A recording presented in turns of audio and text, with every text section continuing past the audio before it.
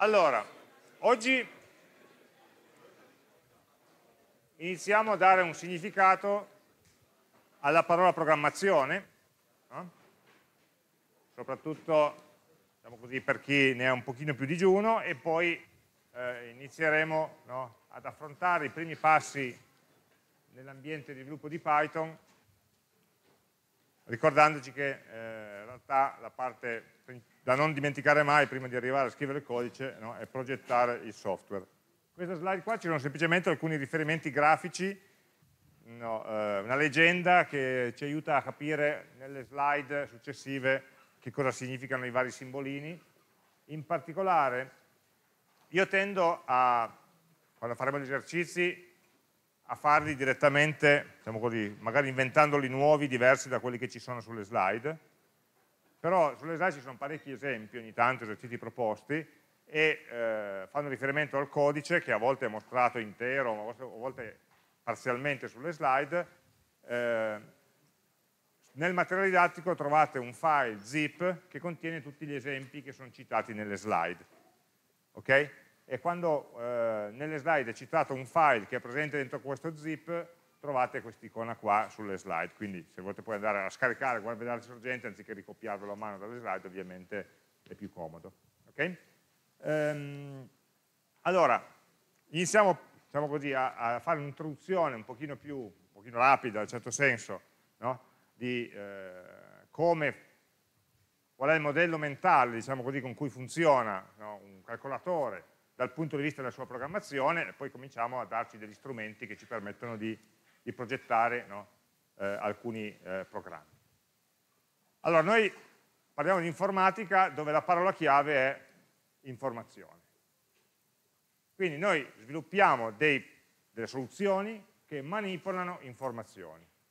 Noi non risolviamo i problemi del mondo, no? non modifichiamo delle cose diciamo, oggettive, reali, tangibili, non direttamente, ma impariamo a manipolare delle informazioni in ingresso e in uscita. Informazioni che possono essere di qualunque tipo, no? dai numeri alle immagini, ai simboli, eccetera, ma questo è diciamo così, il punto di vista del calcolatore. Il calcolatore è una macchina che è un frullatore che frulla numeri essenzialmente. A seconda di come frulliamo questi numeri otterremo dei risultati diversi che hanno un certo significato. Okay? Quindi dal punto di vista del calcolatore, noi dobbiamo abituarci a chiuderci in una scatola, per immaginare come vive il calcolatore, con, dalla quale non abbiamo quasi nessuna comunicazione con l'esterno. Cioè se noi fossimo un computer saremmo chiusi dentro una scatola, non sappiamo nulla del mondo esterno, se non alcuni dati che ci vengono forniti in ingresso, bontà di chi ce li fornisce, li troveremo su un file, saranno scritti da tastiera da qualcuno, qualcun altro cliccherà su dei bottoni, su delle caselle con un mouse, in qualche modo dall'esterno arrivano informazioni, codificate sotto forma di dati, poi discuteremo la differenza tra dato e informazione. Ehm, io del mondo esterno conosco solo questo e il mio compito è di frullare all'interno del calcolatore questi dati d'ingresso per produrre dei dati in uscita, che in qualche modo mostrerò a chi mi ha fatto fare il lavoro. No? li mostro sullo schermo, li mando in una mail, li salvo in un file, eh, li visualizzo come immagine, eccetera, eccetera. Le varie forme con cui il calcolatore può produrre dei dati in uscita. E come fa il calcolatore a sapere cosa deve farci con questi dati di ingresso e quindi che tipo di output deve produrre. E lo sa perché all'interno, o meglio, lo fa eh, eseguendo una certa serie di operazioni al suo interno. Operazioni che, ripetiamo ancora una volta, possono solamente avere accesso ai dati che gli abbiamo fornito e nessun'altra conoscenza in più del mondo. Noi abbiamo calcolatori programmabili perché lo stesso calcolatore può fare elaborazioni diverse sugli stessi dati o su dati diversi, in funzione del programma che guida la sua elaborazione. Okay? Quindi quando voi avete una calcolatrice e sulla calcolatrice c'è la radice quadrata, il seno, il coseno e la tangente, Quello è un elaboratore che sulla base dei dati che gli mettete e della funzione che avete chiesto vi dà un certo output. Ma quello non è programmabile, nel senso che voi non potete, vabbè, i modelli più fighi sì, ma di base, eh, non potete decidere che cosa fare il calcolatore. Quel calcolatore fa quello per cui è stato costruito, fare quelle operazioni lì, e basta. Qualcuno per noi l'ha deciso. Se voi andate a casa, accendete la lavatrice, che dentro c'è un piccolo calcolatore per gestire i programmi, non è che quella lavatrice potete farle risolvere il problema di trigonometria. Pur avendo un processore dentro che sarebbe in grado di farlo, lei è stata impostata e programmata per fare certe cose, gestire il ciclo di lavaggio. Eh, no? Quindi sono calcolatori che hanno uno scopo solo, sono stati, sono stati progettati con uno scopo, single purpose. Noi invece pensiamo a sistemi di elaborazione general purpose, quindi hanno più scopi, e quindi possono essere, il loro comportamento può essere personalizzato in funzione del software che ci mettiamo sopra, in funzione dei programmi che ci mettiamo sopra. Quando voi siete andati a comprare un computer, non vi hanno chiesto che cosa, ne, che cosa ci fai su quel computer, che calcoli devi fare, che elaborazioni devi fare. Ti serve per scrivere dei testi o per fare dei disegni? No, quello è un problema successivo. Dipende dai programmi, dalle app che ci installo sopra. Quindi noi abbiamo una piattaforma di elaborazione neutra, sa fare delle cose, quali cose fa dipende dal software che ci metto dentro. Dal software che ci metto dentro, che scarico, che compro o che scrivo io. Perché poi alla fine il software è tutto uguale per il computer. Ovviamente è una macchina che elabora dati e quindi bisognerà dare un senso a questi dati. Quando noi l'altra volta, lunedì, abbiamo stampato 12, quello è un numero. No? E come vi dicono gli insegnanti di fisica, 12 cosa sono? Mele, pere o patate? No? no sono frequenza del nome più frequente nell'aula. Ma il significato che ha quel numero lo sappiamo solo noi. Il calcolatore è in grado di fare dei conti, se io anziché dei nomi di persona gli avessi messo dentro dei nomi di, di verdure o di fiori o di dinosauri, il programma quell'elaborazione lì l'avrebbe fatta comunque, quindi avrebbe fatto una certa serie di operazioni su certi dati di ingresso, fornendo certi output, seguendo le istruzioni. Il significato dei dati di ingresso e il significato dell'output dell'elaborazione lo so solo io che vuole anche dire che quando voglio risolvere un problema concreto devo tradurlo in una serie di operazioni sui dati che prescindono dalla comprensione del problema. Devono essere operazioni neutre, ma matematica, adesso qua il collega ha cancellato le lavagne, se no avrei detto una di quelle formule lì vale indipendentemente da che cosa rappresenta x, poi ai matematici non interessa cosa rappresenta, ma... E in particolare la cosa diventa ancora più complicata perché il calcolatore non è in grado di comprendere testo, immagini, suono, colori, ma è in grado di comprendere solamente un linguaggio fatto di due soli valori che sono 0 e l'1. Infatti parliamo di calcolatori binari. No? E infatti i calcolatori lavorano su un'unità di informazione che si chiama bit, che sta per binary digit. Binary digit, digit vuol dire cifra, non vuol dire dito, binary vuol dire binaria. Quindi tutto, tutto, ciò che sa fare il calcolatore è ciò che si può esprimere attraverso un'aritmetica di numeri, di cifre, di digit in base a due, binarie. Impareremo poi a lavorare, faremo una, una lezione e mezza no, sull'aritmetica sull binaria per capire a livello basso come funziona il calcolatore dentro. Quindi in qualche modo qualcuno ha deciso che la lettera Z, che è un carattere di testo, eh, a livello di cifre binarie si rappresenta da una certa combinazione, sequenza di 0 e 1, che non mi ricordo a memoria e non è sicuramente quella che c'è scritta lì sulla slide. Okay? Questa conversione qui, eh, i, i vari ambienti, i linguaggi di programmazione cercano di rendercela il più indolore possibile. Noi in questo corso non dovremmo mai, quasi mai, andare a ragionare, ma guarda che questo numero qua, o questa lettera, questa parola ha questa combinazione di zeri e uni. No? Sarebbe abbastanza da mal di capo, abbastanza intenso riuscire a ragionare a un livello basso così. Per fortuna noi riusciamo a ragionare su, usando dei, dei, linguaggi, degli elementi di programmazione che ci permettono di ragionare in un modo un pochino più vicino a come vediamo, no, scusa, qua, a come vediamo le informazioni, a come le vediamo noi Quindi quando devo scrivere la lettera Z, scriverò aperte virgolette, Z, chiuse virgolette, e non dovrò sapere come cavolo è codificato in binario quella lettera lì. Poi ci sarà un processo di traduzione che farà sì che poi questo, questa lettera venga tradotta in quella sequenza binaria, ma quella parte lì io non la vedo più. È stato ammorbidito, addolcito. No? Il computer che noi usiamo non è il vero computer. È il computer vero intorno al quale sono stati costruiti una serie di strati no? di, di, ammorbidimento dell'interfaccia no? in modo da rendere più fruibile da noi utenti. Ehm, e quindi già qua vediamo la, la differenza diciamo, eh, non, diciamo, totale tra quello che è il calcolatore come piattaforma di calcolo, cioè che è in grado di fare delle operazioni, l'hardware, e sull'hardware faremo anche qua un approfondimento per capire un po' meglio come è fatto al suo interno. L'hardware è la parte fisica del calcolatore. Se io posso dirlo con un modo facile da ricordare, l'hardware è ciò che si rompe se cade per terra. Ok? Quindi la tastiera, lo schermo, la memoria, l'hard disk, l'alimentatore, sono tutte le componenti fisiche che sono fondamentali perché sono quelle che fanno l'elaborazione, ma non hanno, fatemi dire, tra virgolette, intelligenza, perché non sanno quale elaborazione fare.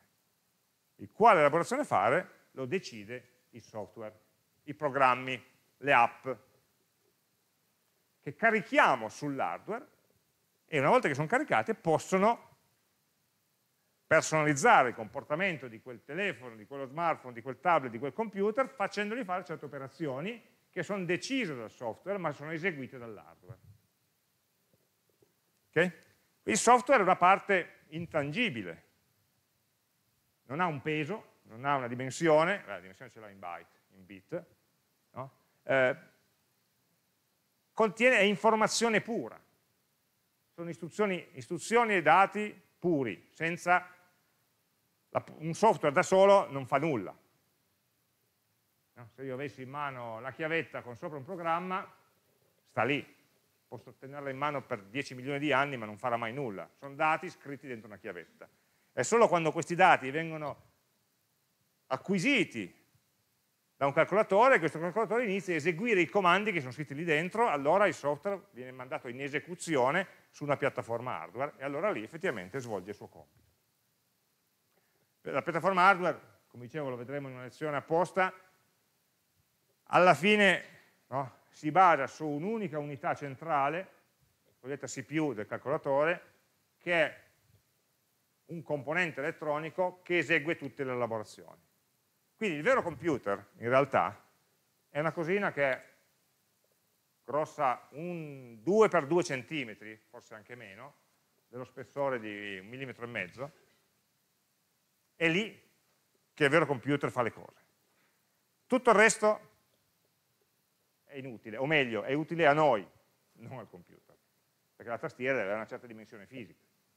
No, lo schermo dobbiamo riuscire a vederlo, leggerlo, le batterie hanno un certo peso, ma non è, sono componenti hardware che sono pensati, progettati per rendere la, il calcolatore usabile dagli umani, ma il calcolatore stesso è chiuso dentro l'unità di elaborazione che ovviamente si appoggia a una serie di memorie, no? la memoria principale, la memoria di massa, eccetera. Approfondiremo queste cose, in cui salvare i programmi, in cui salvare i dati, perché no? ehm, come l'esempio della calcolatrice di prima, la CPU è in grado di fare le elaborazioni, ma poi alla fine i risultati o i dati li devo salvare da qualche parte. Allora, o la calcolatrice ha la sua memoria dentro cui salvarli, o perché se non mi basta, devo trascriverli da qualche altra parte. No? E quindi anche qua ci sono questi vari componenti. Oltre ai dispositivi che permettono al calcolatore di comunicare con l'interno e l'esterno. La tastiera, il mouse, lo schermo, l'altoparlante, il microfono, eccetera, no? che fanno parte dei componenti hardware. Prima avevamo detto, ah, dentro il computer entrano i dati, sì, ma da dove entrano? Entrano dalle unità di ingresso, che possono essere o appunto una chiavetta in cui sono salvati dei dati, o la tastiera attraverso cui scrivo, o il microfono dentro cui parlo, eccetera, eccetera. No? Ehm, e quindi approfondiremo in una delle due lezioni diciamo così, di argomento teorico proprio questa architettura qua in cui vedremo vari, a livello molto macroscopico, no, i vari componenti dell'architettura dell cosa fanno e come collaborano tra di loro. Mentre invece per ora ci concentriamo di più sull'aspetto software, che è quello poi predominante nel corso, ma chiaro che un pochino di hardware devi capire perché sennò non, sei, non capisci cosa sta succedendo quando scrivi. E software è una parola molto molto ampia, tutto può essere software, o meglio ci sono software di vari tipi di livelli, ad esempio quello che è più facile da capire è il cosiddetto software applicativo, no? un programma scritto da te, un'app che ti sta installato, eccetera. Si dice programma applicativo perché risolve un problema applicativo, risolve un problema di una certa categoria di utenti che vuole fare una certa operazione. E poi il motivo per cui io compro un computer, lo compro per scrivere, lo compro per giocare, lo compro per fare dei calcoli, eccetera. Da solo il software applicativo non, non può funzionare, esistono tutta una certa serie di software più di basso livello, che sono più integrati con l'hardware, che permettono al software applicativo di riuscire a utilizzare le risorse dell'hardware stesso. Frase che purtroppo adesso non si riesce a capire, non ho tempo di, diciamo, ma l'analizzeremo, la apriremo, ma per farvi l'esempio il sistema operativo. Cioè, tu è inutile che tu abbia un'app, per scaricare l'app hai bisogno del, del, del sistema operativo all'interno del quale installarla. Se tu non avessi il sistema operativo, so, Android, non potresti, Google Maps da solo non vive, perché sarebbe un software che ha bisogno di accedere al GPS, ha bisogno di accedere alla rete, ha bisogno di accedere a tutta una serie di risorse dell'hardware che vengono messe a disposizione e gestite da una certa serie di software, cosiddetto di sistema, che rende le risorse hardware accessibili ai software applicativi. Per farla breve, ci sono appunto vari livelli di software, dal più, di, chiamiamolo di basso livello, nel senso che è più vicino all'hardware, a quello più di alto livello, che è più vicino all'utente finale. No? E, e, chiaramente queste varie tipologie di software avranno ciascuna modi di essere progettati diversi e molto spesso anche linguaggi di programmazione diversi, più adatti alla funzione che devono svolgere. Ma questa è una visione nostra, come progettisti. Dal punto di vista del computer tutti i software sono uguali. Sono una serie di istruzioni da eseguire una dopo l'altra senza capirle, senza pretendere di capirle. Io prima, due minuti fa, ho detto una parola sbagliata, ho detto che il computer capisce gli zeri e gli uni, ma neanche gli zeri e gli uni capisce. Il computer è in grado di eseguire delle istruzioni che manipolano questi zeri e questi uni non capisce se sta facendo una somma o una sottrazione, sta eseguendo delle operazioni il cui effetto, esito è quello di far sì che il numero rappresentato in binario sia la somma dei due precedenti. Quindi il verbo capire dobbiamo cancellarlo, poi a volte per comodità lo usiamo, no? però la macchina non capisce. Quindi non, sta, non capisce se sta eseguendo un'istruzione applicativa o un'istruzione del sistema operativo, esegue istruzioni e basta. Questa è la triste, vite, triste vita della CPU. Chi capisce siamo noi, programmatori, che dobbiamo scrivere le istruzioni che poi, una volta eseguite dal computer che non capisce niente, produrranno un risultato che speriamo sia quello utile, quello che volevamo all'inizio. Quindi siamo già passati da un concetto di software, di programma, a un concetto di istruzione, di singola istruzione, di singolo passo. Un programma non è altro che una sequenza, breve o lunga, di singoli passaggi, di singoli istruzioni. Nei linguaggi di programmazione più di basso livello, una singola istruzione è comprensibile direttamente dalla CPU, dall'hardware. E quindi sono istruzioni di un eh, diciamo livello così basso che diventa veramente pesante riuscire a lavorarci. Però qualcuno deve fare. Qualcuno deve scrivere programmi che siano direttamente comprensibili dalla CPU. Noi scriveremo programmi in un linguaggio più ad alto livello, per cui una singola istruzione in Python corrisponderà magari a 10.000 istruzioni di linguaggio macchina. E ci penserà appunto l'interprete Python. Io vi ho fatto installare il programma Python. Cos'è quel programma lì? È l'interprete che, che traduce ciò che scriviamo noi ad alto livello, in modo comprensibile, carino, con le parentesi, con i colori, lo traduce in codice macchina, poi, il quale poi viene eseguito. Okay, quindi noi il codice macchina non lo vedremo mai, ma è è l'unico che in realtà viene eseguito dal calcolatore. Noi quindi ragioneremo sempre come sequenza di passi da eseguire uno dopo l'altro, semplicemente con i linguaggi ad alto livello i passi da eseguire sono passi un pochino più lunghi. Quindi anziché essere passi microscopici, no, che ci mettono magari 200.000 istruzioni per arrivare fin là, eh, o passettini, ne, ce ne metterò solamente 10, perché il passo che faccio è più lungo, perché mi permette di esprimere ehm, diciamo, le mie istruzioni con un vocabolario più ampio, più ricco. L'esempio che facevamo lunedì, no? dell'amico molto molto stupido, ma molto molto servizievole, no? che eh, eseguiva le mie istruzioni, ecco, lo posso sostituire con usando dei linguaggi più di alto livello, con un amico che non è, continua a non essere intelligente, ma comprende un vocabolario più ampio. È un po' come dire, io nella calcolatrice, nella calcolatrice scientifica ho anche le funzioni trigonometriche, nella calcolatrice che trovi omaggio nei detersivi non ci sono, ci sono solamente le quattro operazioni, più o meno per diviso radice quadrata. No? E comprende, posso calcolare il coseno con la calcolatrice con le quattro operazioni? Certo che posso. Ci sono 12.000 formule che ti dicono come fare a, una, con una serie di operazioni a ottenere il valore di un seno o di un coseno semplicemente usando le quattro operazioni di base. Solo che anziché schiacciare coseno devi lavorare un quarto d'ora perché le istruzioni che hai a disposizione sono più semplici. E poi ovviamente devi sapere come fare, eh? devi farti dire da qualcuno qual è so, lo sviluppo di Taylor del seno e quindi modificarlo in somme e moltiplicazioni ripetute. No? Lo sai fare, hai un meccanismo per implementare a un livello più basso un'operazione che, che un altro calcolatore, che un altro software, che un altro linguaggio ti fornisce a un livello più alto. Noi mettiamoci nelle condizioni un pochino più morbide, un pochino più facili, quindi lavoriamo con linguaggi ad alto livello sapendo che però alla fine la macchina, poverina, deve lavorare a basso livello e eh, eseguire la CPU, esegue le istruzioni no, che trova dentro il calcolatore una per, una per volta. Se vogliamo fare un parallelo, eh, un programma un po' come una ricetta di cucina, no? dove tu hai un software che sono delle istruzioni da seguire, è leggibile ma non importa, queste sono le istruzioni da seguire nella ricetta, che si basa su certi ingredienti. Quindi questi sono i dati di input e questo qua è il software che ti dice come manipolare i dati di input. E però per manipolare i dati di input hai bisogno di strumenti, hardware. No? Perché c'è scritto frullare ti serve il frullatore. C'è scritto scaldare ti serve la fiamma. Quello è l'hardware. Quindi se tu hai il frullatore ti permette di fare una serie di ricette da solo il frullatore non fa niente, se non sei tu a usarlo, se non sai tu cosa metterci dentro, per quanto tempo frullare, a che velocità, eccetera, eccetera. È uno strumento a disposizione del software che a un certo punto può dire frullare.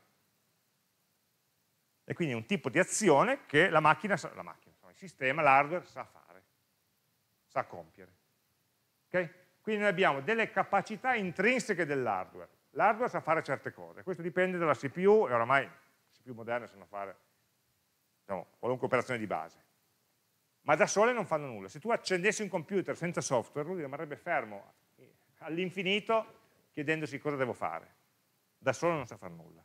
Quando tu ci metti dentro un software, lui parte a eseguire una dopo l'altra le varie istruzioni, questa, questa, questa, questa, una, fino ad arrivare al fondo. Queste istruzioni a un certo punto dicono prendi una cosa, e questa cosa è un dato di ingresso, e poi viene lavorato in un certo modo. Noi ovviamente siamo interessati all'output, adesso avvicinandoci a mezzogiorno cerco di cambiare slide per evitare diciamo così, dei crolli eh, glicemici qua in aula. Mm? Ma l'idea è questa. Ehm, tra l'altro, se voi non siete bravi a cucinare, quando leggete una ricetta non capite nulla. A volte ci sono alcuni passaggi, danno per scontato alcuni passaggi eh, che non sono per nulla scontati. Io, se vogliamo, un, alcuni si lamentano no, che il linguaggio di programmazione è un po' criptico, di imparare dei codici strani, ma avete mai aperto un libro di, di cucito e ricamo? O un cinetto? È, è una cosa, cioè, eh, dico, è più facile risolvere la settimana enigmistica che capire che cosa dice, o, per, o perlomeno usano un linguaggio che a me è totalmente ignoto. Quindi non è nuovo no, nel nostro mondo umano di, di, avere dei linguaggi specializzati, è un software quello, no? ti dice come fare a fare il ricamo ti dice fai 27 catenelle, poi vai, non, non, so, non, so, neanche dirlo, scusate. E, ehm, però ti dà delle istruzioni che tu esegui, in un certo, sei tu la CPU, che esegui però con degli strumenti, con dei dati d'ingresso che sono i fili, e alla fine hai il tuo eh, oggetto ricamato, fatto e finito. No? Quindi l'idea è la stessa. Eh, semplicemente quello che abbiamo, che l'hardware è un calcolatore, quello che il software sono codici di un, di un programma, in un linguaggio di programmazione, e quello che abbiamo alla fine è un programma finito, mettiamone uno poco, non troppo noioso, non sempre il solito programma per fare delle statistiche, ma anche un videogame alla fine funziona nello stesso modo. Noi ovviamente siamo concentrati su come faccio a scrivere questo per ottenere questo. Questo è ciò che io voglio ottenere, è il mio punto di partenza. Questo è il mio punto d'arrivo, che è l'istruzione alla macchina per ottenere eh, l'obiettivo. Vabbè, qui ci sono paralleli che abbiamo già detto. Eh, questo l'abbiamo già detto la volta scorsa, che programmare è un'attività creativa, okay? che alla fine anche Michelangelo usava del marmo, che è un oggetto inerte. Adesso noi non siamo Michelangelo, ma alla fine ciò che produciamo, produciamo un file di testo dentro cui scriviamo il programma. Okay? Quindi quella è la forma fisica no, del, del, del software, un file dentro cui scriviamo le istruzioni di programma. Del programma che risolve il problema, o meglio di un programma che risolve un problema, perché non esiste mai una soluzione, questo l'abbiamo già condiviso la volta scorsa, ma ne esistono molte diverse. Okay? Più o meno efficienti, più o meno veloci, più o meno eleganti, più o meno facili da, da, da debuggare, più o meno facili da far evolvere, eccetera. Queste sono tante, diciamo così, qualità aggiuntive che può avere un software, ma la qualità primaria è il software risolve il problema per cui è stato creato, mm? in uno dei tanti modi possibili. Quindi noi alla fine scriviamo codice dentro una, come si vede nei telefilm, no? gente che batte i tasti furiosamente, no? i vari telefilm di CSI e cose simili, dici cosa scrivono? No?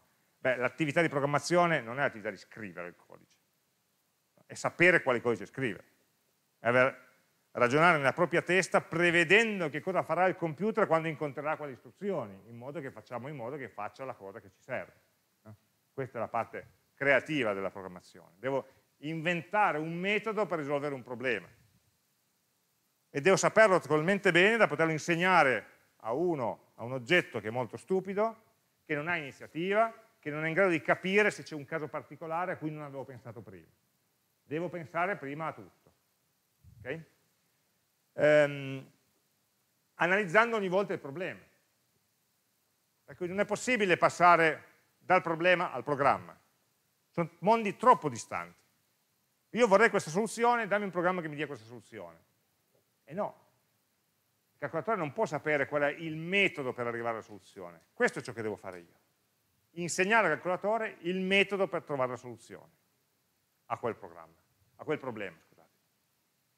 A volte non ci arrivo in un passo solo, a volte ci devo, anzi, quasi sempre ci devo arrivare per piccoli passi problema della volta scorsa era un problema relativamente semplice, però già anche lì l'abbiamo scomposto in due o tre passaggi.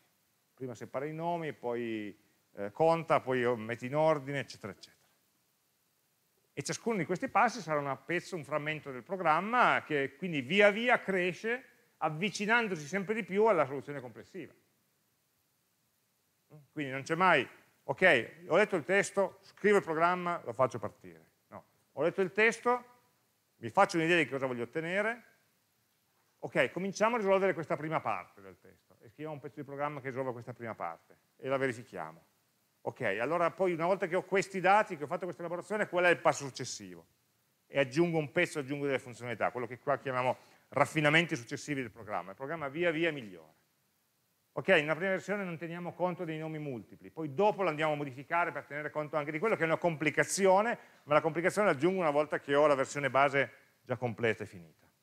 Quindi è un processo interattivo che si svolge in modo diverso per ogni programma, per ogni problema che vogliamo affrontare. Quindi è molto difficile, tra virgolette, copiare, no?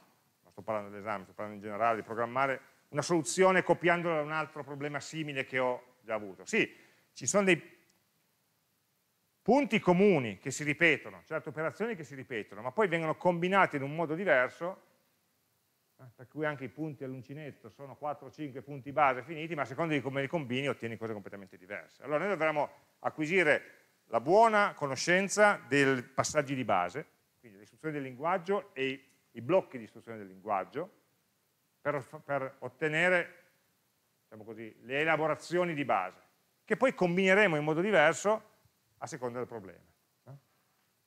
Um, questo diagramma è un po' simile a quello che abbiamo visto la volta scorsa, chiama le cose in un modo leggermente diverso, il problema è sempre lo stesso, qui chiama soluzione informale e soluzione formale i due passaggi del ragionamento di progettazione. Um, lunedì questa parte che qui è chiamata soluzione informale, io l'avevo chiamata idea. No? Ho scritto, ok, abbiamo un'idea, si può risolvere così.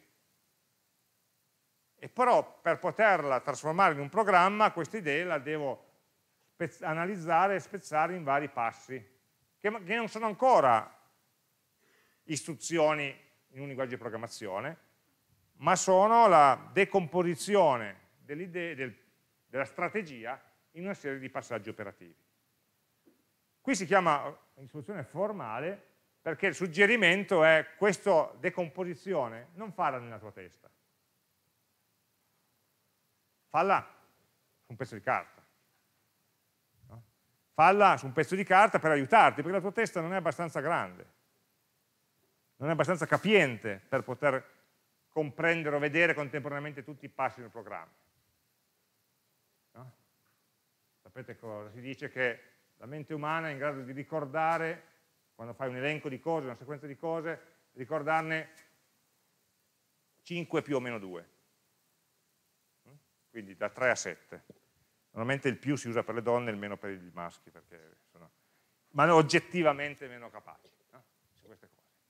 E, ehm, è un programma in 7 istruzioni, non è finito quindi abbiamo bisogno di usare un'espansione di memoria.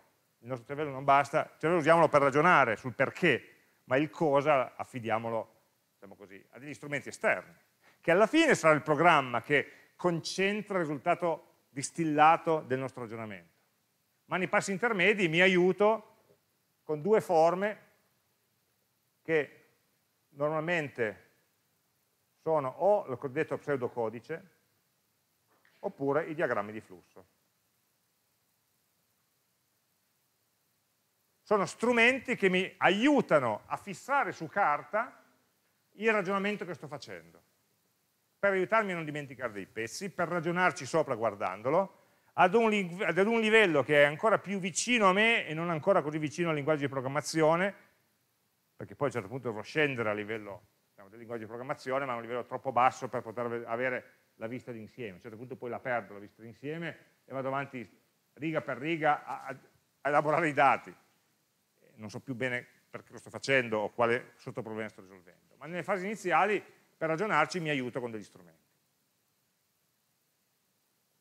Questi sono due esempi. Poi è chiaro che se il programma è semplice e voi siete esperti, questa parte qua, non dico che la saltate, ma la fate in mente.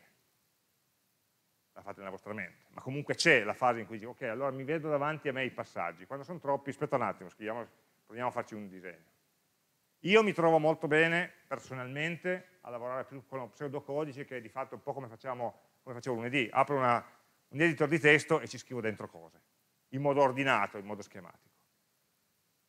Altri invece preferiscono lavorare in modo più, più grafico, appunto con i flowchart, adesso vedremo di che si tratta, quindi i disegni degli schemi bidimensionali con le frecce, i blocchi, eccetera. Questa è una cosa molto personale, io vi accenno entrambe le modalità in modo che poi ciascuno di voi possa usare quella che è più congeniale. Io forse perché scrivo e disegno malissimo il flowchart non riesco a gestirli, no?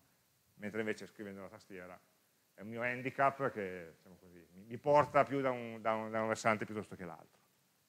Ma questo solo per dirci che attenzione, non passiamo mai dall'idea al programma, ma l'idea dobbiamo un attimo maturarcela, dobbiamo un attimo espandercela. Ok, vabbè, qui salto le cose che abbiamo già detto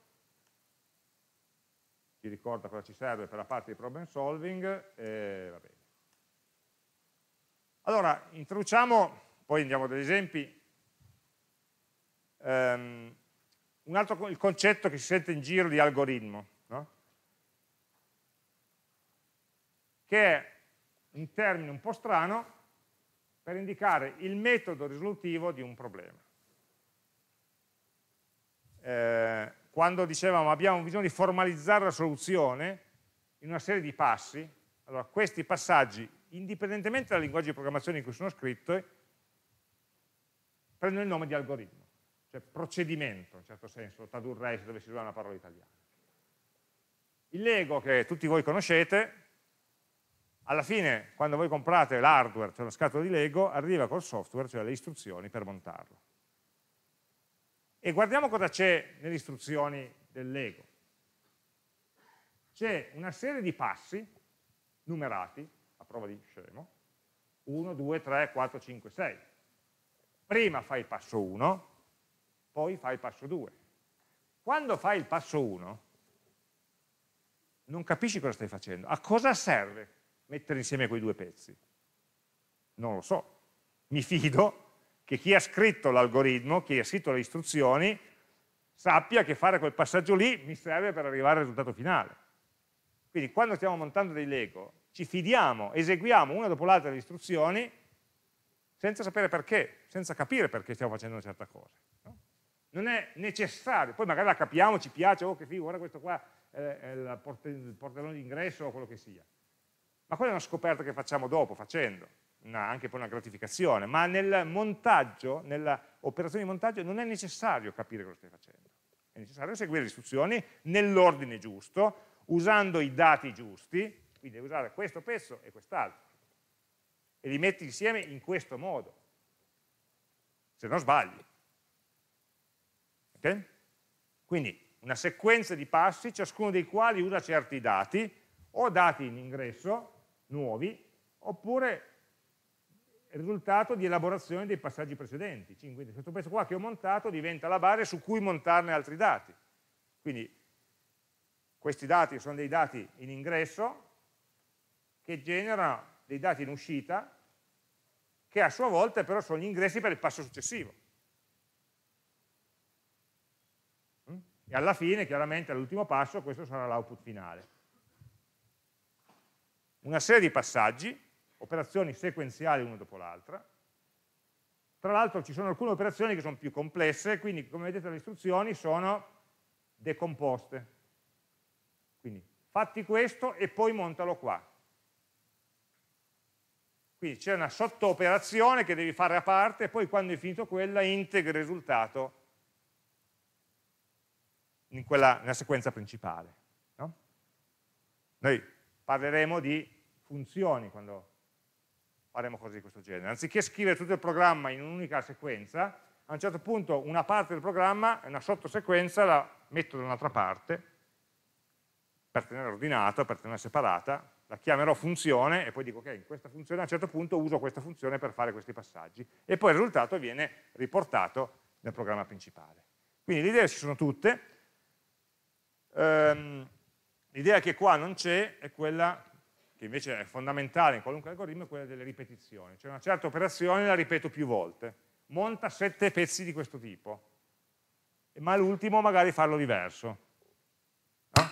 Eh, un programma normalmente è costituito da un certo numero di istruzioni, ma al suo interno quasi sempre ha dei blocchi di istruzioni che sono ripetuti più volte.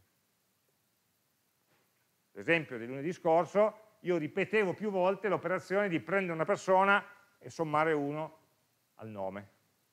Quindi l'operazione è banale, prendi una persona, vai a vedere il suo nome, se c'è già somma 1. Però questa operazione la ripetevo tantissime volte. In quel caso una per ogni dato di ingresso, ma poi non è detto. Okay? Quindi queste sono un po' tradotte in un linguaggio diverso da quello visuale del Lego, no? i concetti che dobbiamo mettere insieme per costruire un algoritmo, facendo attenzione di metterli insieme in un modo comprensibile, no, scusate, stavo per dire comprensibile chi li deve eseguire, ma non si può perché abbiamo detto che chi li esegue non comprende, no? non è in grado di capire. Il cui effetto sia corretto quando vengono eseguiti da chi li esegue senza capire. No? Questo potrebbe essere un semplice algoritmo, una classica barzelletta triste da informatici, no? Dice, caro, caro per favore esci eh, vai al supermarket e prendi una bottiglia di latte, se hanno delle banane prendine 6. Okay? E, ovviamente se io questo qua lo dicessi a un computer, il risultato è che la persona è arrivata a casa con 6 bottiglie di latte e 0 banane. Dice, ma perché? Eh, mi ha detto che se ci sono le banane, prendine 6 di latte. Non mi ha detto di prendere banane. Prendi una bottiglia di latte, se ci sono le banane prendine 6 bottiglie di latte. No, voi dite, ma no, non hai capito niente. Esatto, il computer non capisce niente. Questo è così, facciamoci una ragione e dovremo spiegare meglio, come tutte le mogli dicono ai propri mariti. No? Ehm, quindi ricordiamoci che um, passaggi che possono essere per noi intuitivi, quando li tradurremo in un linguaggio di programmazione, cessano di essere intuitivi e se sbagliamo qualcosa il programma fa una cosa. Perché fai questo? È perché te l'ho detto io. Alla fine purtroppo quando il programma fa le cose strane, sono sempre io che gli ho detto la cosa sbagliata da fare, no? perché non avevo capito. Quindi questo concetto qui prende il nome appunto di algoritmo, che è una serie di passi eh, formalizzati per risolvere un certo problema. Quindi noi nella nostra mente la prima cosa che ci formuliamo, dicevo prima, una strategia, affronto così, poi converto la strategia in un algoritmo, una serie di passi, e converto l'algoritmo in un programma, una serie di istruzioni scritte nel linguaggio di programmazione. Questo algoritmo per aiutarmi a svilupparlo lo posso sviluppare in parte in mente, in parte come, come eh, pseudocodice, in parte come diagramma di flusso. No? Sono strumenti che mi aiutano a sviluppare gli algoritmi che sono ancora elementi del mio mondo, del mio mondo di ragionamento mentale, non ancora del mondo della macchina che è un mondo di esecuzione senza capire. L'algoritmo mi, mi aiuta a capire quali sono i passaggi. L'algoritmo deve essere preciso, non ambiguo. Se io scrivo dei vari passaggi e un determinato passaggio può essere interpretato in due modi diversi, vuol dire che non l'ho capito bene, vuol dire che non l'ho espresso bene, vuol dire che c'è il rischio che quando lo tradurrò in un programma, il programma farà la cosa sbagliata. Quindi dobbiamo essere i peggiori maestri di noi stessi, peggiori nel senso più cattivi. No? Essere molto sospettosi di quello che pensiamo e quello, quello, che scriviamo e chiederci, ma questo qua è chiaro, è, non è ambiguo, si può capire in, volta, in un modo solo, lo saprei spiegare, No? Posso farti un esempio? Sono sicuro di poter fare un esempio di questo passaggio? Perché solo così saremo poi sicuri di poterlo tradurre in un programma. Deve essere eseguibile, cioè un algoritmo non deve pretendere di fare operazioni che l'hardware non è in grado di fare.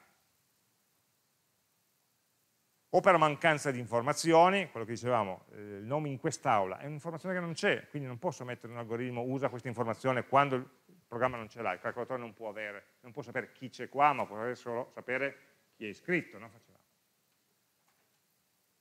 Ehm, oppure, quindi, essere, non devo far fare operazioni che lavorino su dati no, che non sono in mio possesso. E non devo fare operazioni che richiedono risorse di calcolo maggiori di quelle che ho, quindi se io dicessi, guarda, fai, calcola tutte le combinazioni di 100.000 elementi, e 100.000 fattoriale non ci sta nella memoria del calcolatore. 100.000 fattoriale elementi non ci stanno. Quindi un'operazione, sì sì, l'algoritmo concettualmente può anche essere giusto, ma poi non è praticamente eseguibile. Come alcuni tipi di dimostrazioni matematiche, ce ne sono alcune che sono costruttive, che ti portano al risultato, altre che ti dimostrano che il risultato esiste, ma il metodo per arrivarci richiederebbe risorse infinite e che non abbiamo. No? Quindi ovviamente l'algoritmo deve, deve, portare una soluzione. Quindi tra le varie strade teoricamente possibili devo scegliere quelle operativamente possibili. E poi un algoritmo deve, essere, deve garantire di terminare.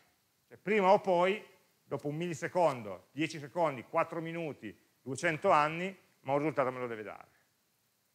Un algoritmo non può girare all'infinito e non darmi mai risultato, se no non serve a nulla.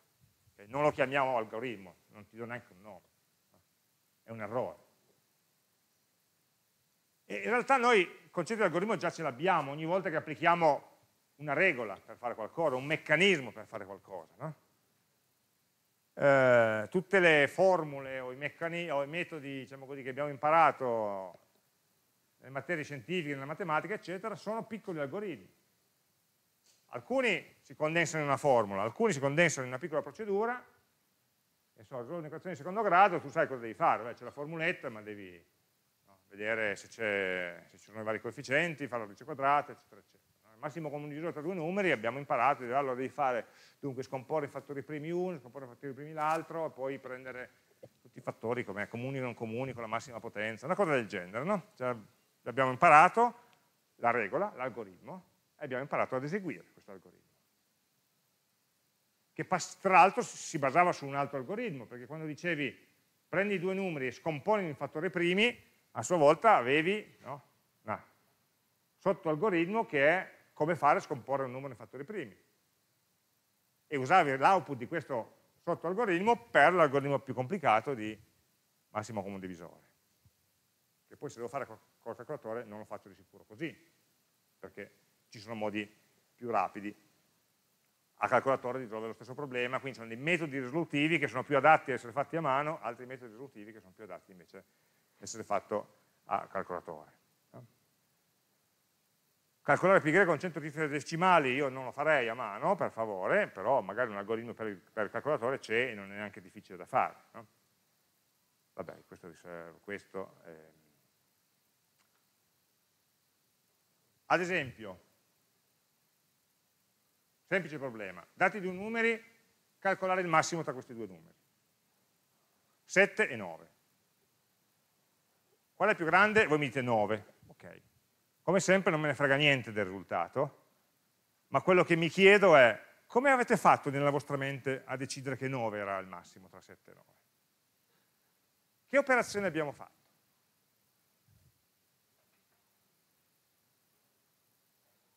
E queste operazioni le dobbiamo descrivere in un modo che funzionino, cioè mi diano il risultato corretto, qualunque siano i due numeri che ho davanti.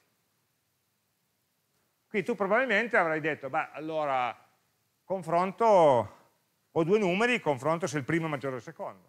Mi chiedo, 7 è maggiore di 9?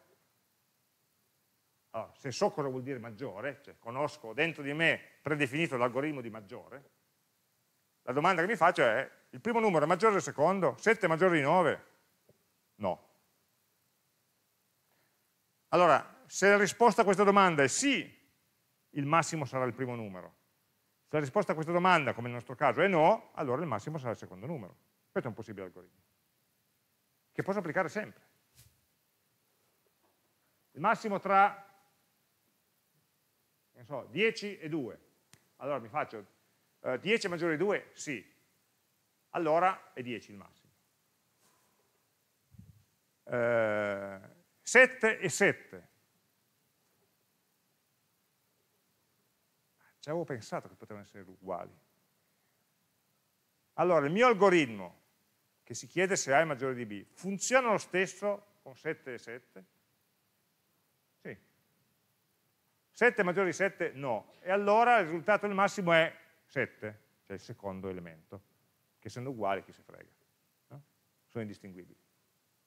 Mi dà il risultato corretto, in questo caso hm? siamo stati fortunati perché un aspetto a cui non avevamo pensato all'inizio, in realtà, cioè il fatto che i numeri potevano essere uguali, qualcuno potrebbe dire no, ma guarda, devi controllare prima se sono uguali o no. In questo caso, anche senza controllare prima, sempre per il solito fattore C, eh, il risultato viene corretto.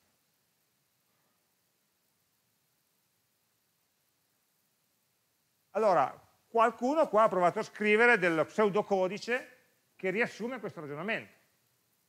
Dice, allora, il massimo, inizialmente non so qual è, quindi diciamo che un certo max che non so qual è ci metto un valore a caso, mettiamo 0 a caso. Poi faccio un confronto, confronta se A è maggiore di B.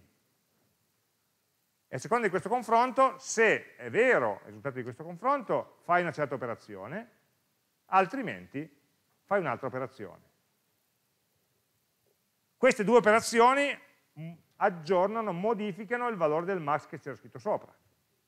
Prima ci ho messo un valore a caso, poi quel valore so che non è quello giusto, e infatti dovrò rimpiazzare questo valore o con A o con B.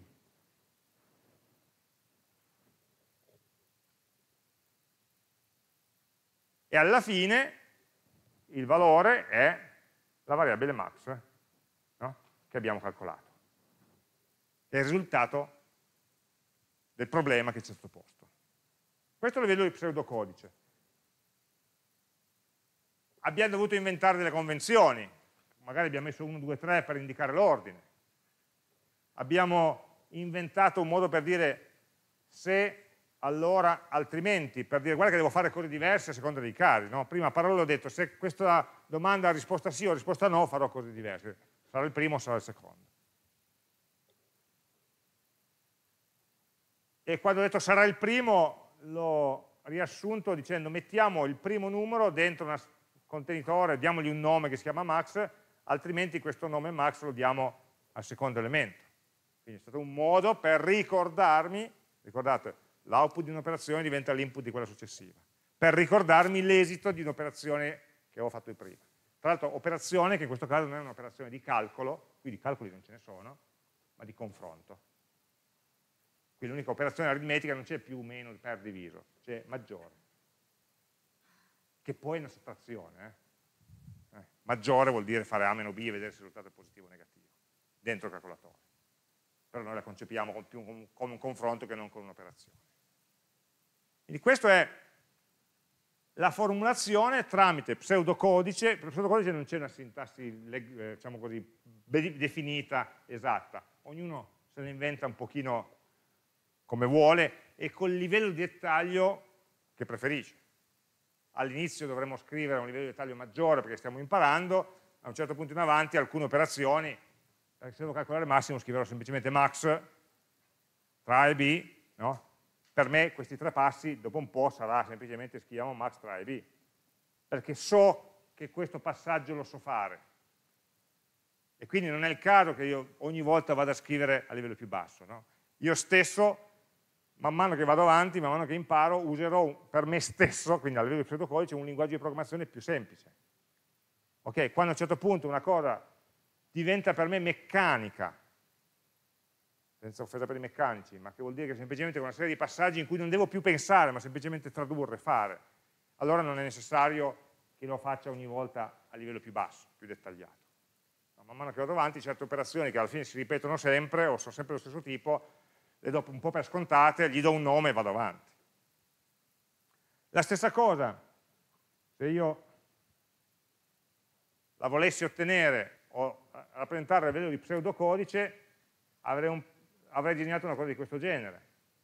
No? Ho due valori A e B, la prima cosa che faccio è chiedermi se è maggiore di B e a seconda che A maggiore di B sia vero o falso, dovrò fare operazioni diverse. La prima, se A maggiore di B è vero, dirò che il massimo è uguale ad A, se invece è falso dirò che il massimo è uguale a b. Quindi rappresento, diciamo così, su un foglio le varie operazioni da fare e l'algoritmo, la sequenza di esecuzione dell'algoritmo è determinata da, dalle frecce.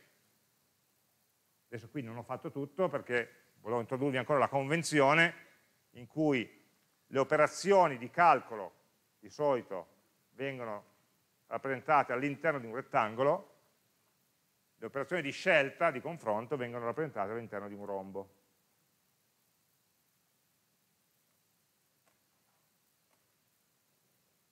Dopodiché questo è l'avvio del programma e poi alla fine avrò la terminazione del programma. Start e stop. Questo è lo stesso algoritmo di prima Prima l'abbiamo scritto sotto forma di pseudocodice, qua lo stiamo scrivendo sotto forma di diagramma di flusso. È una simbologia diversa, ma l'informazione che c'è è la stessa. Dipende cosa ci troviamo meglio a visualizzare, cosa si sintonizza meglio col nostro modo di ragionare, con, col modo in cui abbiamo in mente il nostro algoritmo. Sono assolutamente metodi equivalenti. È chiaro che per capire questo, che sia lo pseudocodice che sia il diagramma di flusso, dobbiamo metterci d'accordo su che cosa vuol dire maggiore, su che cosa vuol dire maggiore, su che cosa vuol dire uguale, su che cosa vuol dire vero o falso,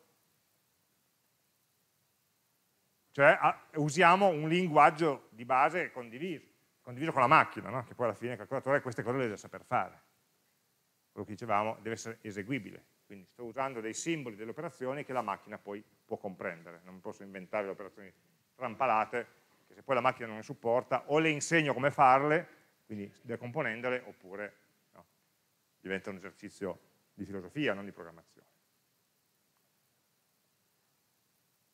Eh, proviamo a fare un altro esempio, massimo comune divisore. Allora, ci ricordiamo cos'è il massimo comune divisore. Dati due numeri, il massimo condivisore del numero è un numero più piccolo dei due di partenza, o minore o uguale ai due di partenza, che sia divisore di entrambi. Vabbè. Cioè ad esempio tra 10 e 8, massimo comune divisore, 2 non lo dico. Eh. Eh, no? Deve essere un numero che sia divisore di 10, i divisori del 10 sono 2, 1 e 5, e il divisore di 8 che come divisore è solamente 1 e 2, 2 alla terza, e quindi il massimo condivisore è, in questo caso 2, perché divide 10 e divide 8, senza resto. Okay? Questa è la definizione no? da scuola elementare.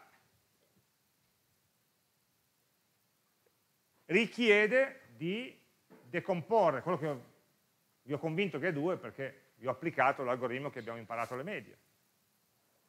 Decomponi in, numeri, in, in, in fattori primi, così vedi quali sono i, i pezzettini no? dei divisori. Ma avendo un calcolatore magari c'è un modo più furbo. Qui c'è un'idea, più furbo, scusate, diverso più semplice. Dice, senti, ma allora visto che deve essere un numero di massimo condivisore compreso tra 1 e A o B, deve essere minore o uguale sia ad A che a B, e, oh, posso provarli tutti. 1 è divisore di 8 e di 10? Un divisore di 8 sì, uno divisore di 10 sì. Ok, magari è lui, l'MCD. Poi vado avanti, 2. 2 è divisore di 8? È divisore di 10? Sì. Vabbè, allora è meglio lui di 1. Buttiamo via 1 e teniamo il 2. 3 è divisore di 8? No. Ah, niente allora. 4 è divisore di 8? Sì. 4 è divisore di 10? No. Allora non va bene, andiamo avanti. Qual era quello che abbiamo tenuto da parte? Il 2, che era l'ultimo che andava bene. 5 è divisore di 8? No, è diviso di 10, ma pazienza, non lo è di 8, quindi non mi serve. E quindi non è difficile provarle tutte, tra virgolette, i valori, e tenere da parte il più grande valore che, ha, che è riuscito a dividere correttamente sia A che B.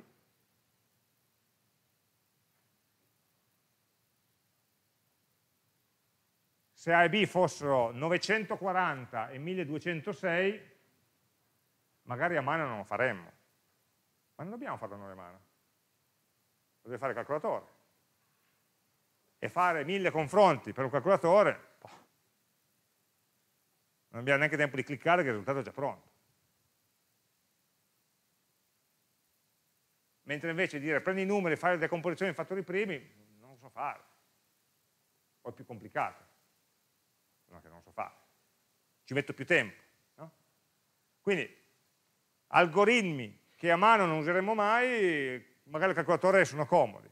Algoritmi che il calcolatore non useremo mai il calcolatore, magari sono, sono comodi a mano. Quindi la scelta dell'algoritmo dipende dalla macchina che lo deve eseguire, intendendo come macchina anche noi stessi. E dipende anche dal linguaggio di programmazione in cui lo scrivo. Ci sono alcuni linguaggi di programmazione in cui è più facile esprimere certi algoritmi e altri linguaggi invece in cui è più facile esprimerne altri tutto a parità di soluzione, cioè alla fine deve, venire, deve uscire 2 eh, da quella roba, deve uscire 2. Come lo faccio uscire? Dipende da tanti fattori. Quindi in questo caso ehm, noi potremmo, che ne so, ad esempio, provare a formalizzare l'MCD sotto forma di pseudocodice calcola la MCD tra A e B. No? Con quell'algoritmo che è accennato nell'idea. Proviamo a formalizzare un po' di più. Allora, come primo passo, dico, proviamo a dire se MCD, proviamo a, dire, a metterlo a 1.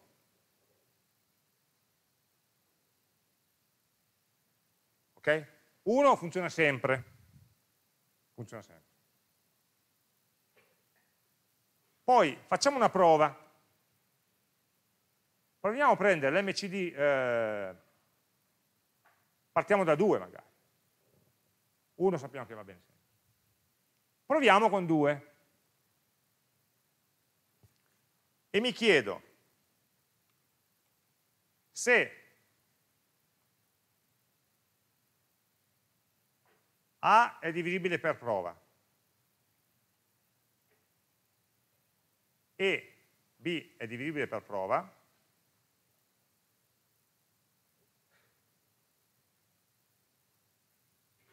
questo è quello che facevo, no? Prendevo il numero di prova e mi chiedevo, è divisibile per il primo? Sì, no. È divisibile per il secondo? Sì, no.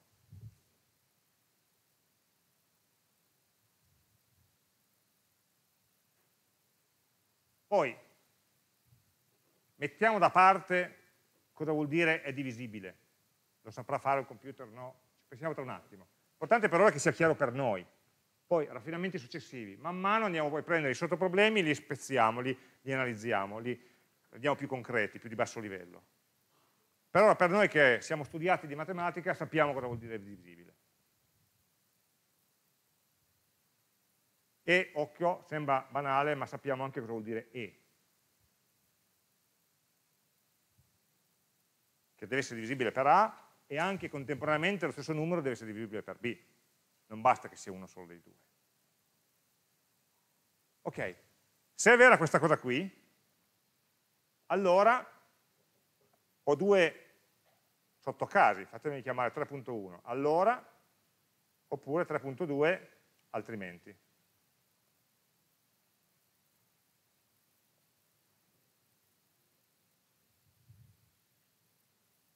Allora, perché questo è un se, il risultato può essere vero o falso. Se è vero dico faccio certe cose, altrimenti se è falso, quindi diciamo così, se è vero, allora vuol dire se, che, che la clausola 3 è vera. Il, il, confronto fatto al punto 3 è vero. Altrimenti lo dico se il punto 3 è falso. per non dire se il punto 3 è vero fai questo, eh, allora usiamo delle, delle, abbreviazioni come se, allora, altrimenti, che poi si mappano molto bene anche sui linguaggi di programmazione. Ma per forza, perché i linguaggi di programmazione li abbiamo inventati proprio per aiutarci in questo tipo di cose. Allora, cosa devo fare se è vero? Devo dire che il numero di prova è una stima dell'MCD migliore di quella che avevo finora. devo ricordarmi questo qui.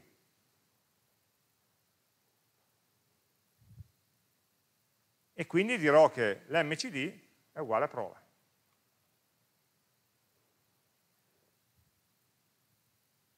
Cioè ho trovato un numero di prova che è, è un divisore comune, sì, è il massimo divisore comune? Non lo so, ma è maggiore del divisore comune che conoscevo prima. E quindi di sicuro è meglio. Non so se è lui il massimo, se arriverà qualcuno più bello di lui dopo, ma lui è il massimo. Altrimenti passo al numero successivo. Quindi incrementa, prova, che poi si, si scrive prova uguale prova più 1 o in altri quattro modi diversi, ma non importa. Prendo il valore, dal 2 ci ho provato, è andato bene, è andato male, passo al 3, passo al 4, passo al 5. Allora, questo programma che ho scritto finora, questo algoritmo che ho scritto finora, cosa fa? Mette mcd uguale 1, prova a vedere se 2 è il divisore comune. E poi si ferma. perché non gli ho detto che in realtà deve continuare. Dopo il 2 devo provare il 3, dopo il 3 devo provare il 4. Quindi dovrò dirgli, dopo che hai fatto questo, torno al punto 2.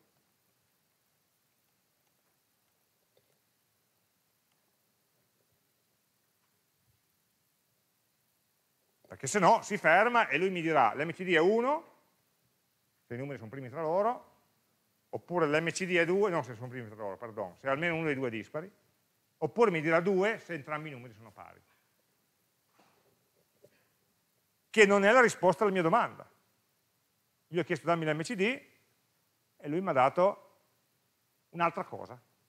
Una cosa che mi dice se sono entrambi pari oppure no.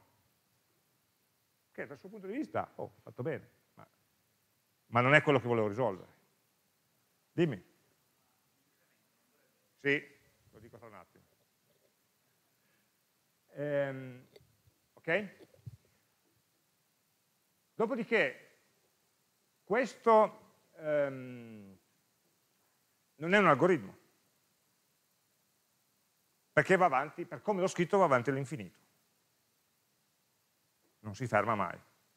Quindi a un certo punto, quando ci accorgeremo che lui sta provando se 12 miliardi 318 milioni 615 mila 906 è un divisore di 2, o di 8, scusate, di 10, e lui va avanti così, così gli ho detto. Quindi torna al punto 2, non deve essere fatto sempre, ma deve essere fatto solo se il valore di prova non è troppo grande. Quindi allora questo qui dovrà essere, un 4, il punto 4 sarà se prova non è troppo grande, 4.1, allora torna al punto 2.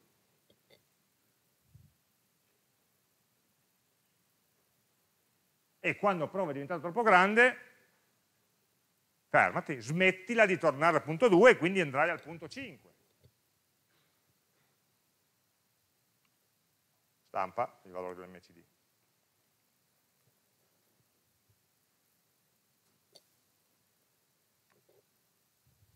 Allora, questo programma ha ancora un po' di errori è dentro. Però prima di arrivare agli errori, vediamo, siamo tutti d'accordo su cosa sta, cosa sta, facendo questa macchina, più o meno? Okay? Sta cercando di, ho cercato di spaccare la mia mente, il mio ragionamento di prima in tanti passi elementari. Questo programma è sbagliato, ve l'ho detto, adesso arriviamo a ragionare sugli errori.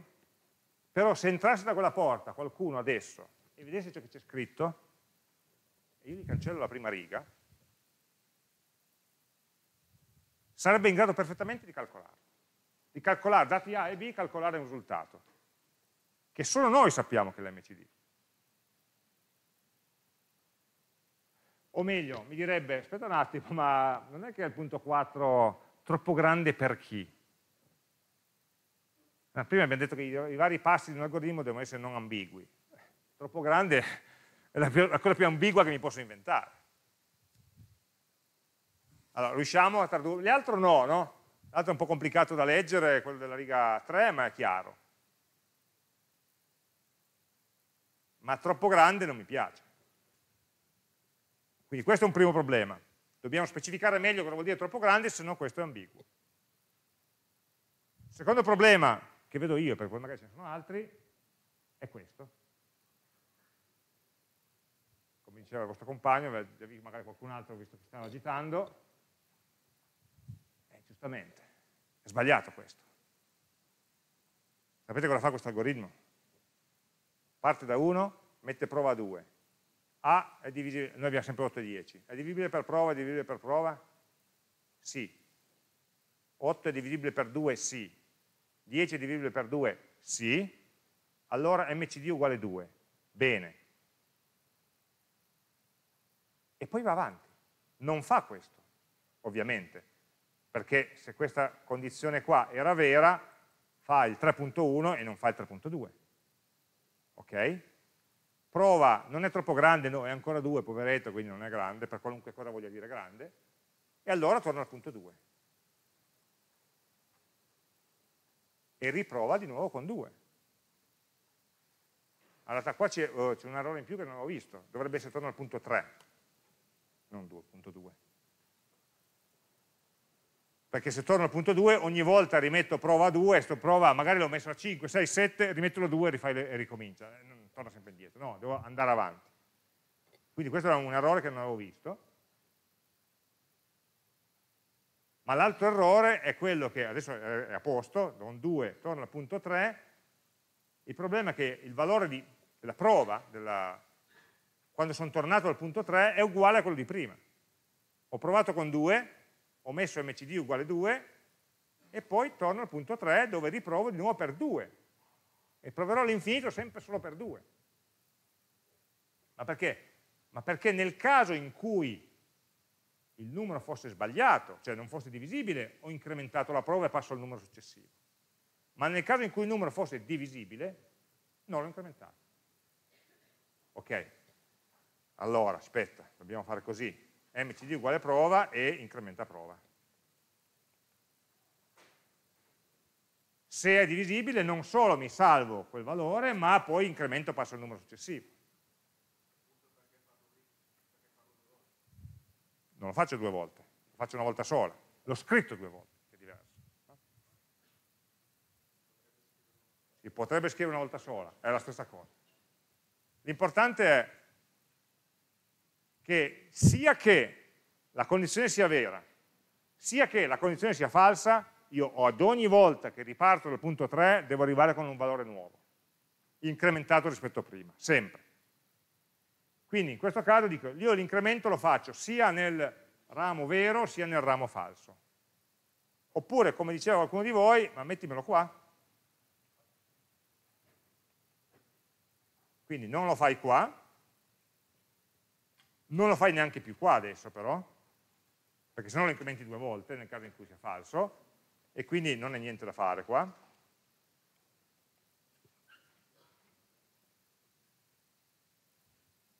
Se è vero, salvo la prova nell'MCD. Se è falso, vabbè, se vai avanti, in ogni caso comunque vai avanti. Qui ci devo mettere un numero davanti, che dovrebbe essere un 4, e quindi l'altro diventa 5, e l'altro diventa 5.1, poi capite perché non si mettono i numeri, ovviamente, nella realtà.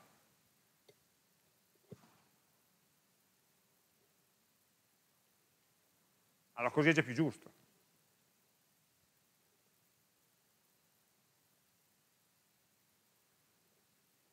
Okay? Stiamo allenando la nostra mente a eseguire questo programma, questo algoritmo. Siamo noi i computer in questo momento.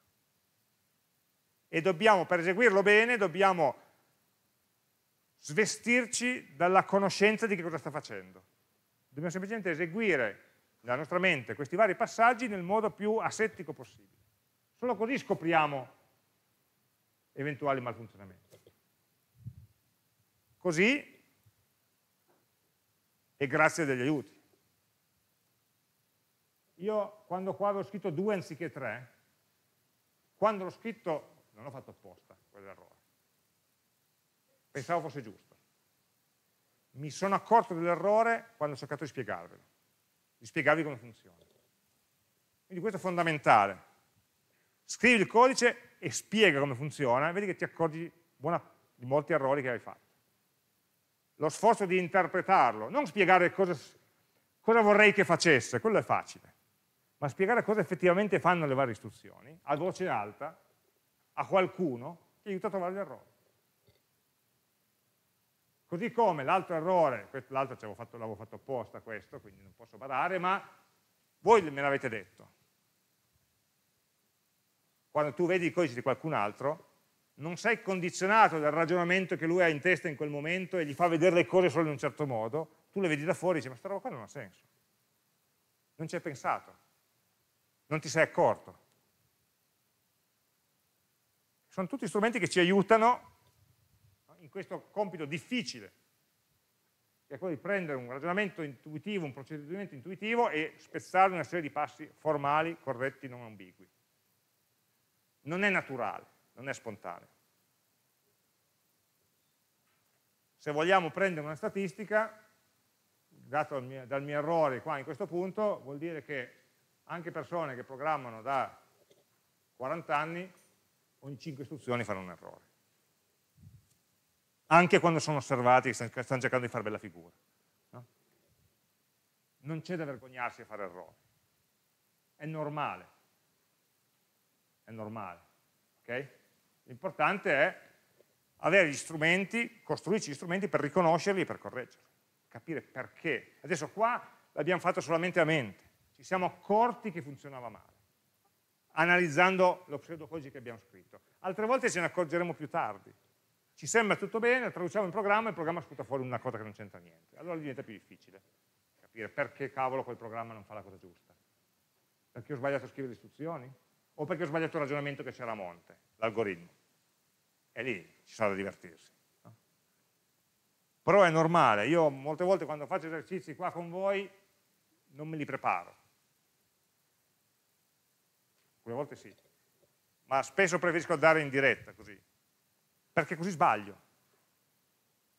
Voi mi aiutate a trovare l'errore mentre io scrivo, una figata, da 200 persone che ti corregge gli errori. Fosse sempre così, la qualità aumenta ma soprattutto sviluppiamo insieme, vediamo insieme delle strategie per trovare e correggere gli errori.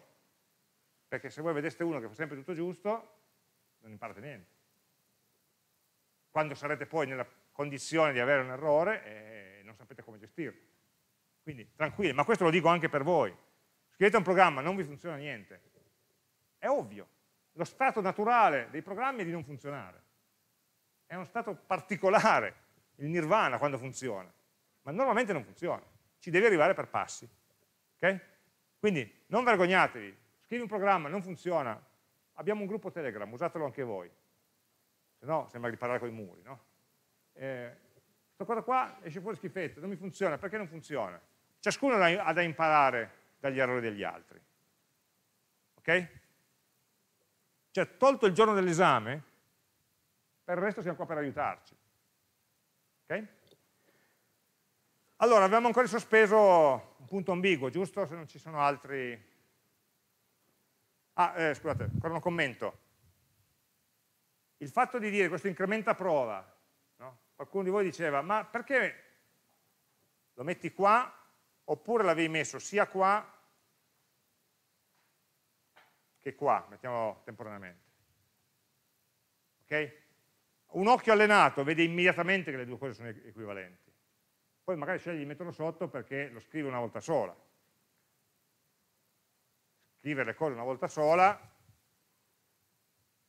permette di sbagliare di meno, essenzialmente, no? tipicamente, perché eh, puoi anche fare copia e incolla, ma se poi dopo devi correggerlo, incrementa a prova di due unità anziché di una, ed è scritto in tre posti, di sicuro lo correggi in due e non in tre, no? perché te ne dimentichi uno per strada. Quindi eh, si cerca di avere di solito una certa anche sintesi no, nel programma, cercare di eh, ripetere operazioni. In realtà che io lo scriva qua o che lo scriva sopra e sotto fa esattamente la stessa cosa. Il fatto che qua l'abbia scritto due volte non vuol dire che viene incrementato due volte. Perché o faccio questo o faccio quell'altro, perché la condizione 3 o è vera o è falsa, non è che può essere vera e falsa contemporaneamente. Okay? Quindi questi sono automatismi che, diciamo così, eh, ci verranno naturali via via che facciamo questi tipi di ragionamenti, no? il modo di svilupparsi di un programma. Qui abbiamo un programma che fa dei confronti, dei controlli, fa delle operazioni, fa delle scelte e fa delle ripetizioni sono i quattro ingredienti dei programmi. Faccio dei calcoli, incrementa di 1, dividi per 7, fai la divisione, trova calcolo del resto della divisione. Fai dei confronti, maggiore, minore, uguale. Fai delle scelte, se è vero fai una cosa, se è falso fai un'altra. Fai delle ripetizioni, torna indietro a rifare quello che hai già fatto prima. Più uno che è la sequenza, cioè vai uno dopo l'altro. Queste, stanno nelle dita di una mano, sono i costrutti con cui costruire qualsiasi algoritmo. Si tratta di combinarli nei vari modi possibili. A seconda di come li combino, ottengo programmi diversi. Che è complicato, eh? Perché vuol dire che qualunque ragionamento, anche il più complesso, lo devo ricondurre a questi cinque poveretti. Sequenza, scelta, iterazione, cioè ripetizione, confronti e calcoli. Tutto deve essere espresso tramite un'opportuna combinazione di queste cose. Io qua questo algoritmo l'ho descritto con pseudocodice, l'avrei potuto descrivere tranquillamente come diagramma di flusso, adesso se volete lo, lo rifacciamo come diagramma di flusso per confronto, per vedere che è la stessa cosa. Prima però di fermarci un attimo, vorrei risolvere il punto 5, non è troppo grande. Quindi non è troppo grande vuol dire che è minore o minore o uguale a che cosa? Quando è che mi fermo? A 100. 1000. Mi è scappato uno 0. 1000. No. Ad A. A o B? A o B?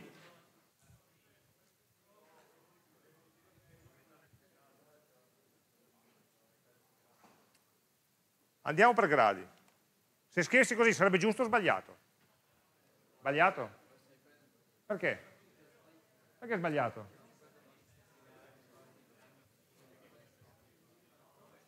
Rifaccio la domanda meglio.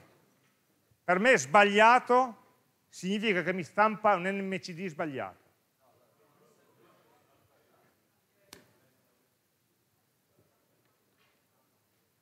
Allora, è chiaro che questo viene, ci mette un po' a disagio, no? Ma perché cacchio il confronto è B dove è finito? Allora, questo è giusto, nel senso che arriva al risultato corretto. Se A è 8 e B è 10, lui arriva fino a... No, in realtà è sbagliato. A 7, qui c'è scritto. Perché prova minore di A. 8 non lo prova mai che è sbagliato perché A potrebbe essere l'MCD, quindi scusate, questo è un errore, minore o uguale devo scrivere. Quindi arriva fino a 8 e si ferma lì. Va bene, non ha senso andare oltre perché l'MCD non può essere mai maggior di A. Ma se A fosse 100 e B fosse 5, questo algoritmo va avanti a provare tutti i numeri fino a 100 anche se si potrebbe fermare benissimo a 5. Ma semplicemente tutti i numeri maggiori di 5 non saranno divisori di 5. Quindi questo algoritmo si ferma, non va avanti all'infinito e non perde delle soluzioni. Ciò che fa fa del lavoro inutile. Da, C, da 6 a 100 fa delle prove di cui sappiamo già a priori, potremmo già sapere a priori, che il risultato è falso e quindi non possono essere dei buoni candidati ad essere un MCD.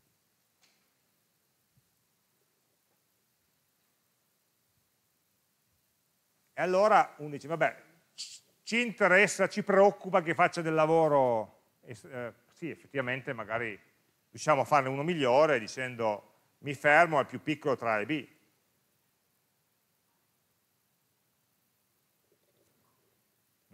lo posso scrivere così, oppure posso scrivere se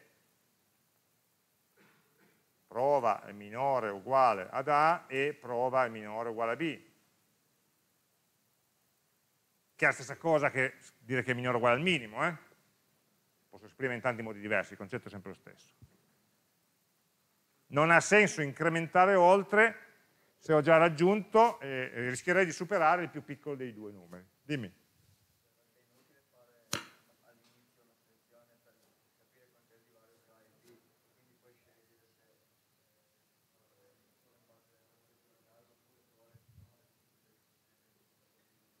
Dunque, lui vuole fare una cosa di dire, ma se A e B sono vicini, chi se frega, vado, vado fino ad A.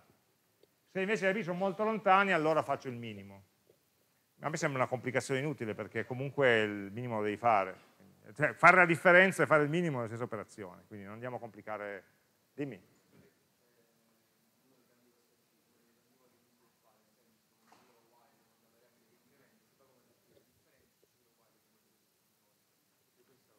No, voi state proponendo di usare un algoritmo diverso, però, non di incrementare la prova una volta sola, ma fare differenza ogni volta, giusto?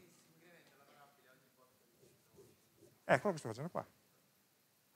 Quindi non ho capito, scusa, l'osservazione, scusatemi.